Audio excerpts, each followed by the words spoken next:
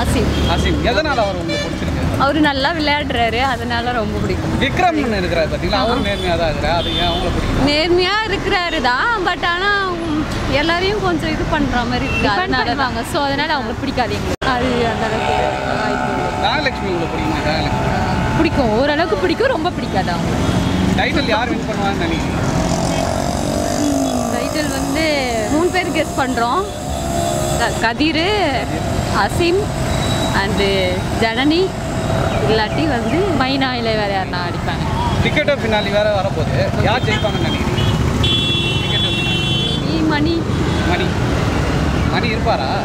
இருப்பாருன்னு நினைக்கிறேன். கொஞ்சம் எல்லார்கிட்டயும் நல்லா பேசுறதுனால கொஞ்சம் வராங்க பிக்கிறதுக்கு வாய்ப்பு இருக்கு. அவரு லாஸ்ட் டைம்ல தான் எல்லாம் நல்லா பேசி ஒண்ணுக்குள்ள ஒண்ணு கொஞ்சம் நல்லா விளையாடுறவங்கள எடுப்பாங்க. அப்படி பார்த்தா ஏடிக்க கூட எடுக்கிறதுக்கு வாய்ப்பு இருக்கு. இருக்கு. கண்டிப்பா. இந்த சீசனில் யார் வின் நினைக்கிறீங்க?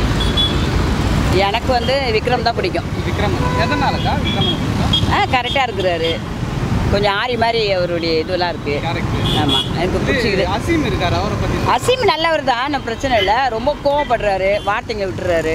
அதனால கொஞ்சம் மனசு இதுவாயிடும். ஆனால் நல்லவர் தான் அவரும் நல்லவர். வின் பண்ணுறது ரெண்டு பேருக்கும் சான்ஸ் இருக்குது இது ஷிவின் இருக்காங்க ஆ அவங்களும் இப்போ தான் கொஞ்சம் கேரக்டர் கொஞ்சம் ஒரு மாதிரி ஆகுறாங்க அவங்க. தெரியல. ஆனால் இவங்க ரெண்டு பேரும் வரத்துக்கு சான்ஸ் இருக்குது யாரா ரெண்டு பேரில் யாரோ ஒருத்தவங்க கண்டிப்பாக வருவாங்க. ஏடிக்கே ஏடிக்கே ஏடிக்கை எந்த அளவுக்கு சொல்ல முடியாது. ஆனால் விக்ரம பிடிக்கும் ரொம்ப பிடிக்கும்.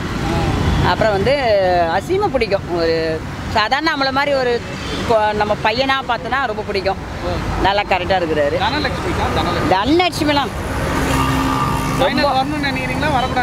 ஃபைனல் வரலாம்ப்பா. ஏன்னா வந்து ஹார்ட் ஒர்க் பண்ணுறாங்க அதெல்லாம் பிரச்சனை இல்லை. ஆனால் எல்லாரும் முறியடிச்சிட்டு போகணும்னு நினைக்கிறாங்க.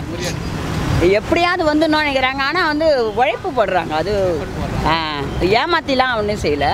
உழைப்பு போடுறாங்க. ஆனால் ரொம்ப ஒரு அடமட்டாக இருக்கிறாங்க. அவ்வளோதான் தேங்க்யூ ரஜிமன் அசீம் எதனால உங்களுக்கு பிடிக்கும்? அவர் தான் நல்லா விளாட்றாரு நல்லா எப்படி சொல்கிறது ரசிகர்களுக்கு பிடிச்ச மாதிரி இருக்கார்.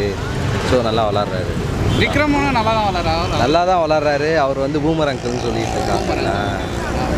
இப்போ ரக்ஷிதா எப்படி ப்ரோ அவங்க வந்து நல்லா ப்ளே பண்ண மாட்டேங்கிறாங்க. எப்படி சொல்கிறதுனா இப்போ ஒரு பிக் பாஸில் வந்தால் மக்களுக்கு பிடிச்ச மாதிரி தான் நடிக்கணும். அவங்க வந்து என்னென்னா அவங்களும் எங்களை மாதிரியே வேடிக்கை பார்க்குற மாதிரியே உள்ள இருந்து பார்த்துட்டு இருக்காங்க. இவங்க தனலட்சுமி ப்ரோ அவங்க எப்படி சொல்கிறது நல்லா விளாட்றாங்க. என்ன ரொம்ப கோவப்படுறாங்க. அந்த இடத்துல எப்படி இருக்கணும்னு அவங்களுக்கு தெரியல. ஸோ நல்லா தான்